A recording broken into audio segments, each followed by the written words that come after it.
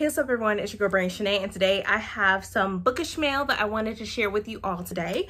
Um, so let's go ahead and get started with this box. So I had ordered this because um, I had heard about it and it's like a retelling, but it's really cool because it's going to be there's going to be um, two other books right after it. So there's going to be another book written by um, Dhonielle Clayton um, in 2021. And then there's going to be another book written by L.L. McKinney in 2022. And what that is, this is going to be books pretty much generations apart. So I think that's really neat. So for this book right here, the first book for this retelling is by Julie Dao. Um, and it is The Mere, The Mere Broken Wish right here. And it says, family curses always start somewhere. So here is the cover. And pretty much this is like a retelling, like I said. And then after, and then for the next book, it's going to be like a, a generation later. And then the, the, third book, a generation or so far later. So it's like a generational type of story that I have never read before, anything like that. So I thought that would be very interesting. But I love the cover alone. And then you take the dust jacket off, it's like a grayish color with uh, pink fuchsia foiling. And so it has the book one right there, and it's the Mirror series. So that's what that is. And then let me read the synopsis and tell you what it's about. Oh, and also right here, if you go here, it has the Agnes family, Agnes B 1818, Oscar B 1818, and then you have the Meth Methodist um, family called Mathilda. So I believe this is what we're following. That has like a little tree and everything. So that's pretty cool. But let me read the synopsis. So it says, The Mere Broken Wish marks the first book in an innovative young adult series written by Julie C. Dao, Dhonielle Clayton, O.J.C. Cervantes, and L.L. McKinney, following one family over several generations and the curse that plagues it. Welcome to a new sort of fairy tale. So this one starts in Hanau, Hanau uh, Germany in 1865. And it says, 16-year-old uh, Elva has a secret. She has visions and strange she has visions and strange powers that she will do anything to hide. She knows the warnings about what happens to witches in their small village. She's heard the terrible things people say about the witch of the North Woods and the malicious hunts that follow. But when Elva accidentally witnesses a devastating vision of the future, she decides she has to do everything she can to prevent it. Tapping into her powers for the first time, Elva discovers a magical mirror and its owner, none other than the Witch of the North Woods herself. As Elva learns more about her uh, bargaining magic and the lines between hero and villain start to blur. She must find a way to right past wrongs before it's too late. So overall, it sounds amazing. Uh, about magic, witches, I'm all for it. So I thought this would be a really uh, cool read especially there'll be three authors that'll be writing um, in this series. But look at the spine too. It's so, it's beautiful. Sorry about the glare, but it looks amazing. Um, but yeah, so even the back it says, there's powers and a promise, no matter who you make it to. The most powerful are made when magic is involved. If you break one of those promises, you release its energy into the world, Mathilda said. Agnes found that she was holding her breath. What happens then?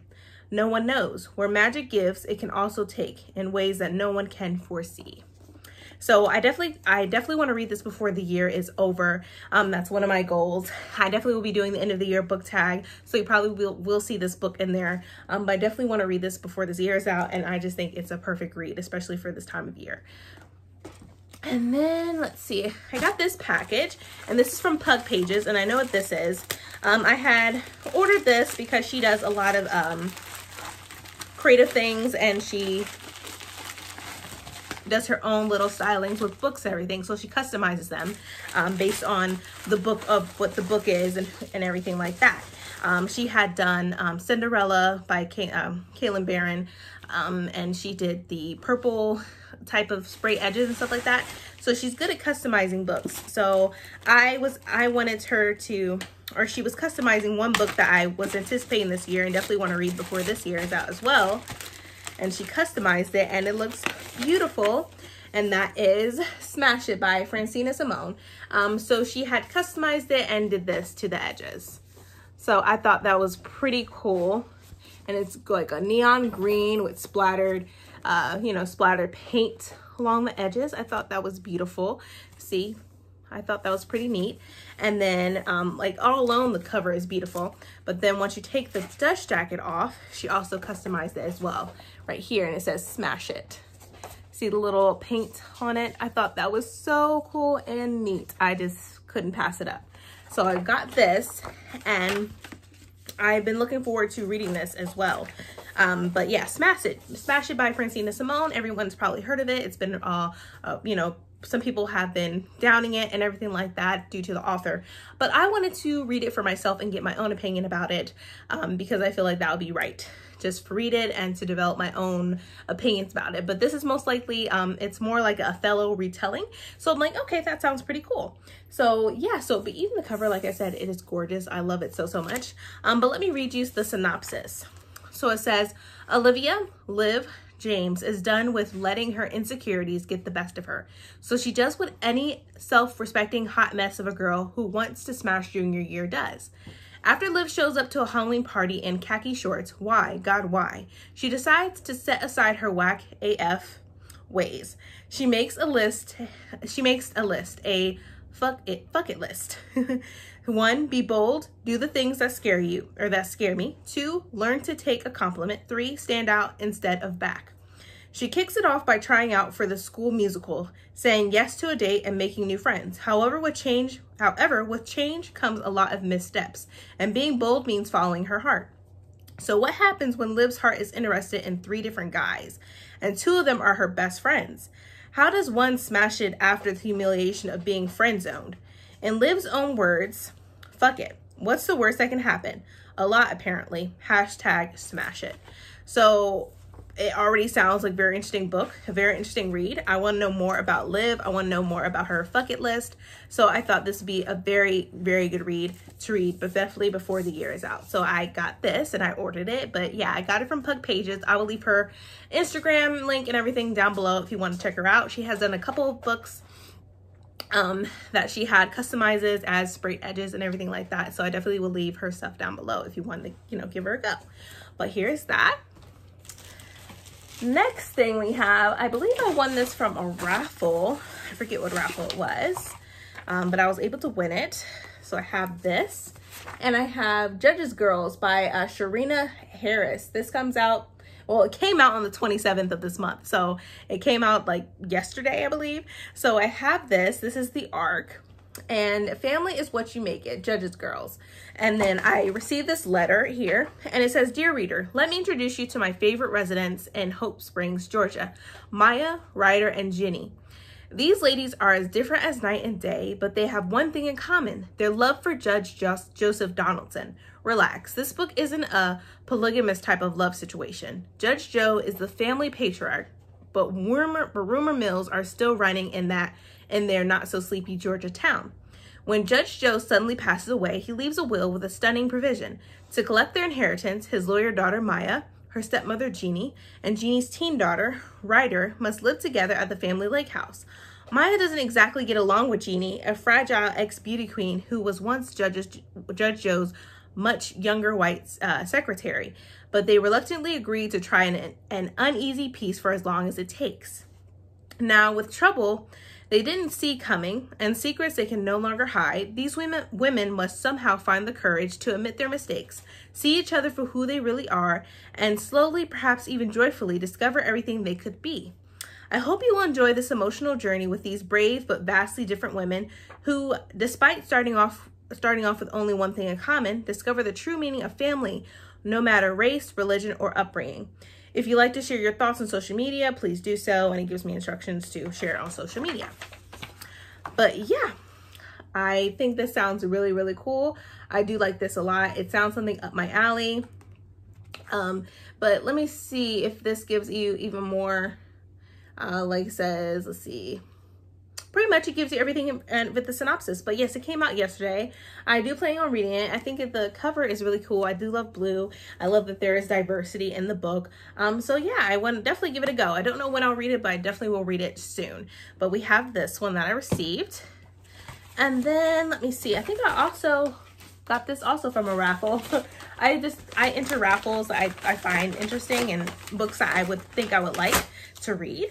So let me open this one here. Have the package Okay, yeah, so this one is from a raffle as well. And I thought, I never, I haven't heard anything about this over BookTube or anything like that regarding the book. And that is There's Nothing Like a Black Salesman on a Mission. And it's Black Buck, a novel by Mateo Askaripour.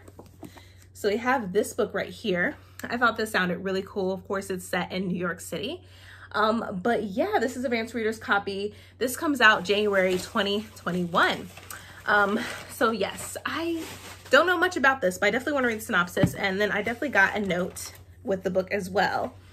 And it says, Dear reader, thank you for requesting uh, Black Buck um, by Mateo Askaripour. Um, uh, it says, Black Buck is a hilarious, razor-sharp skewering of America's workforce. It is a propulsive, a propulsive, crackling debut that explores ambition and race and, and makes way for a necessary new vision of the American dream.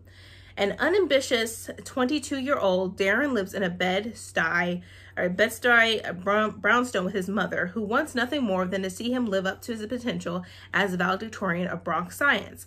But Darren is content working at Starbucks in the lobby of a midtown office building, hanging out with his girlfriend, Soraya, and eating his mother's home-cooked meals. All that changes when a chance encounter when a chance encounter with uh, Rhett Daniels, the silver-tongued CEO of Sumwun um, NYC's hottest tech startup, results in an exclusive invitation for Darren to join an elite sales team on the 13th, 13th uh, 36th floor, excuse me.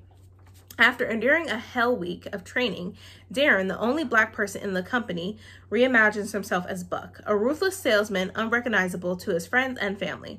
But when things turn tragic at home and Buck feels he's hit rock bottom, he begins to hatch a plan to help young people of color infiltrate America's sales force, setting off a chain of events, setting off a chain of events that forever changes the game.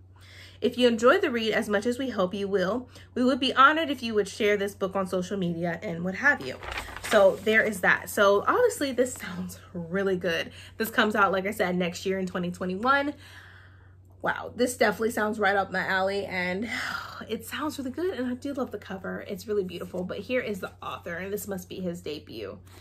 Oh, but yes, this sounds really good. It says, for fans of Sorry to Bother You and The Wolf of Wall Street, a blazing satirical um, debut novel about a young man gives a shot at stardom as lone as a lone black salesman at a mysterious cult-like and wildly successful startup where nothing is as it seems. So, ooh, yeah, I definitely will be reading this in January this sounds something yeah i definitely will read this in january because this definitely sounds good um definitely and that i feel like with startup companies that is something that i will say that is very common where there's not there's really no diversity at all. Um and you're like the token black person. Um but yes so this is definitely something i'll be reading next year in january. And then the next one let me see. I think I have another one here. Okay, I have another package, and this is from Macmillan Publishers. Okay, so I don't know what this is, so we're going to open it. So I got this right here. Oh, what is this? It says, there was uh, there was only one difference between monsters and gods. Both inspired fear. Only one inspired worship. Hmm. So I have this. Is that all that's in here? Maybe not. Or I think this is something that a little a little poster that I was able to get since I pre-ordered this book. I think I know what it is. Okay, I think that's it out in that box. Okay, so they're they are each other's fiercest love, greatest danger, and only hope. Okay, so yes, yeah, so this is something that since I pre-ordered it, I was able to get this poster. It says, hello, thank you so much for participating in our special OwlCrate pre-order uh, sweepstakes for The Silver Serpents by New York Times bestseller author Roshani Chokshi. Enclosed, you will find your exclusive quote print, and we hope you and we hope you love it as much as we do. Be sure to share your photos and videos with us by using the handles and hashtags below.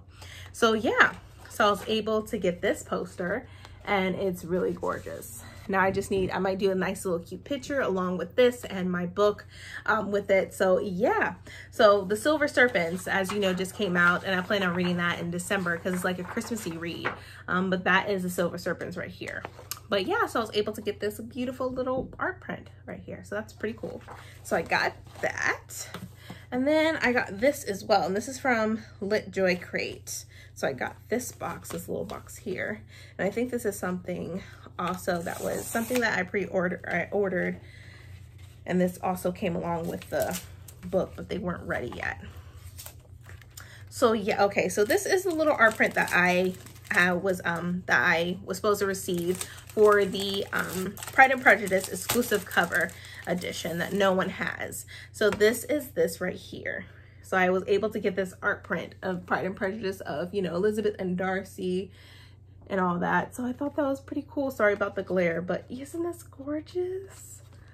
I love this so much. Now I need like create little beautiful pictures. But yeah, so we have that from LitJoy Crate. So we got that. So that's what I received from there. Make sure nothing else is in there.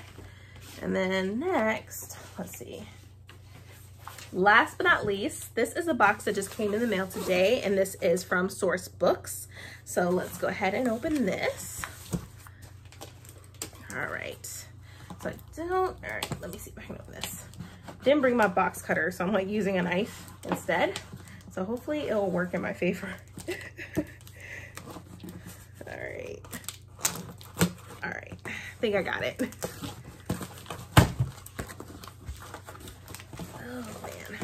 Heavy too, I will say. All right. So, ooh, all right. So I'm opening it up. So first book that I see is Bedazzled. Something is, sometimes a breakup is your chance to break out. This comes in on, uh, this comes out January the 5th of next year. And this is by, it says Bedazzled by Ryan La Sala.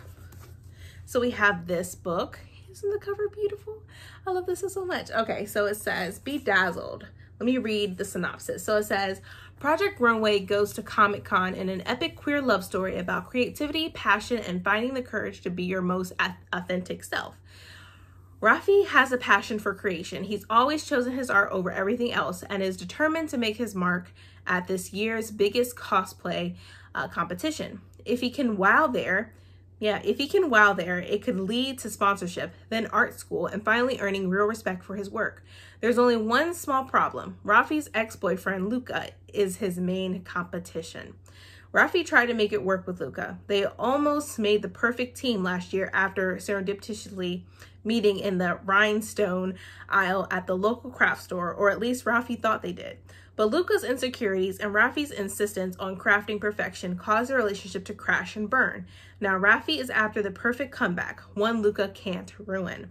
But when Rafi is forced to partner with Luca on his most ambitious build yet, he'll have to juggle unresolved feelings for the boy who broke his heart and his own intense self-doubt to get everything he's ever wanted, choosing his art, choosing his art his way. So like I said, this comes out January the 5th of next year and it really sounds good. And I do love a nice little queer, uh, queer read. Um, but yeah, the queer love story, I'm all for. So yeah, so we have this one from Source Books. Okay. Next one, we have The Frozen Prince. This comes out in December. It's by Maxym M. Martineau. So we have this one. This looks really cool. And let me read the synopsis. It says, I will fight for her, for all of us, until I have nothing left to give. Nock, leader of an Assassins of Curor, uh, may have broken the curse that's kept him trapped for so many years, but the dark magic won't be denied. If he doesn't kill Lena, the girl he can't live without, then his own life will be given as payment. To make matters worse, the truth of his past has fallen into the hands of his enemies, threatening everyone he's ever loved, and their time is running out. Lena has finally come into her own as a charmer and would do anything to help Nock survive. When she learns of a magical creature that may be able to save him, she gathers her courage and sets out for the frozen north. But what starts as a hunt for answers quickly turns deadly, and soon Lena, Nock, and their trusted band of assassins find themselves face to face with an enemy more terrible and powerful than they could have ever imagined. Oh, so this sounds pretty cool. I do like this. But yeah, isn't the cover like gorgeous? Like, look at that. So we have this, and I think this book right here goes along with it. I think. So this is, I think this might be the first one, Kingdom of Exiles, also about Maxym, Maxym and Martineau. Yeah, so I think this might be the first one. I'm guessing, and this is the second book right here. So So I think this is first one and this one's the second one. Uh, this one says Kingdom of Exiles. And it says, I will not fall, I will not flee, I will not break. It says, as a charmer, Lena Edenfrau came tame, can tame the rare magical beasts that inhabit her world. When she's falsely accused of using her magic to charm a human, she's exiled and forced to sell her beloved beast to survive.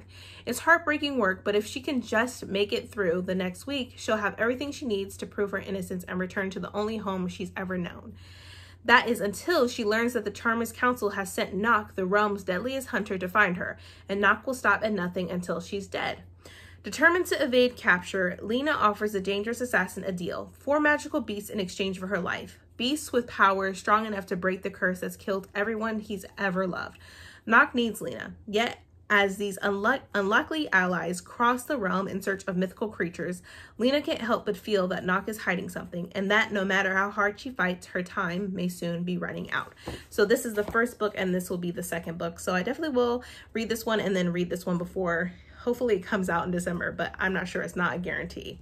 All right, and then the last book that I received from Sourcebooks is The Bone Witch. It says, "Let me let me be clear. I never intended to raise my brother from his grave." And it's by Rin uh, Chupeco, author of The Girl from the Well. So this looks really cute. So I got this book, and this sounds very interesting. I have not read The Bone Witch before. I, think I've seen some people in BookTube read it, and they loved it. Some people didn't, but I'm going to get my own opinion by reading it. Um, but it says, The beast raged. It punctured the air with its spite, but the girl was fiercer. Tea is different from the other witches in her family. Her gift for necromancy makes her a bone witch, who are feared and ostracized in the kingdom for theirs for their for theirs is a powerful elemental magic that can reach beyond the boundaries of the living and of the human. Great power comes at a price, forcing Tea to leave her homeland to train under the guidance of an older, wiser bone witch. There, Tea puts all her energy into becoming an Asha, learning to control her elemental magic and those beasts who will submit by no other force. And Tea must be strong, stronger than she even believes possible, because war is brewing in the Eight Kingdoms, war that will threaten the sovereignty of her homeland and threaten the very survival of those she loves. Lyrical and action-packed, this start of a new fantasy series by acclaimed author Ren Chupeco will leave you breathless. So there you have it. This is the last book that I got and that is all of my book mail. So I hope you enjoyed this bookish book mail video. I received a lot of things in the mail. And I wanted to share it all with you. Um, but anywho, if you enjoyed this video, please give me a thumbs up. Also hit that subscribe button and that bell to be notified when I upload more videos in the future. But thank you so much you guys for watching. See ya.